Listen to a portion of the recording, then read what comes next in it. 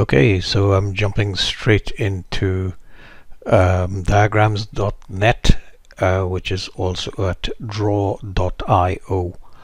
Um, so I can call it Drawio, um, like there. So this is um, in a web browser, and once you type in draw.io, it'll take you to um, a page where you can immediately access um, the Drawio um, apps online.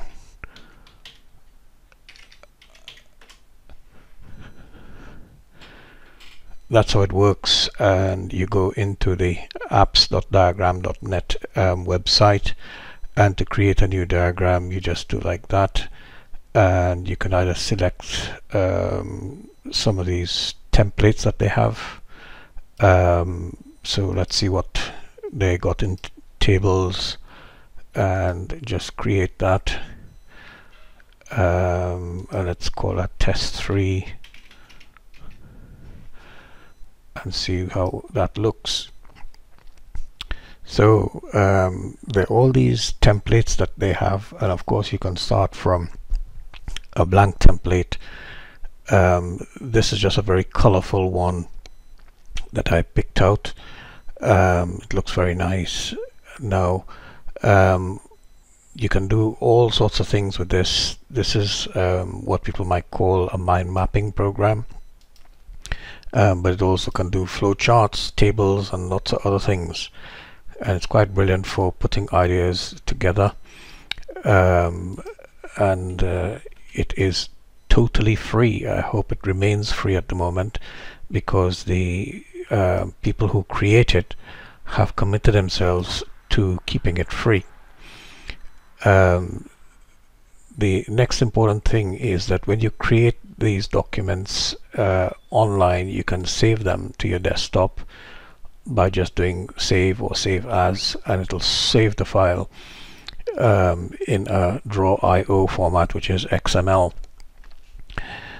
Now, after you save that, um, you could use the web interface and do um, import from, uh, you know, you can import from um, any of these places you might have um, uploaded to, or you could go to your computer and find um, where it was saved. I've saved them to my um, desktop. And you could do loads of things with these. I won't go into all of them um, but you could uh, basically you know use the arrows here to create um, other little nodes and you can expand on that as much as you like. You can color them um, adjust fonts you know you can do all sorts of things with this. And importantly if you wanted to export it as a PDF you could do that or you could import, export it as an image right from the web interface okay so what's next? Well, um, instead of using the um, web interface to always go back to your desktop, there is an amazing um, app at this address and I'll put that uh, below in a link. Um, and just install you know on whichever OS you need to install it on. So what does the app look like okay let's go to the app. After it's installed this is what it'll look like. And that is the same file that was saved to my desktop. I just opened it uh, in the Drawio app. Okay. And now you can just work away with this without even having to go back online. Now that is brilliant. Um, so the features in the app are pretty much I've, from what I've seen so far, the same, the same features. And I think there's now an embed on iframe in this. I don't think I've seen that before, but that's great. It might be in the um, web interface. Um, but uh, if you wanted to create new files, you just go in like that.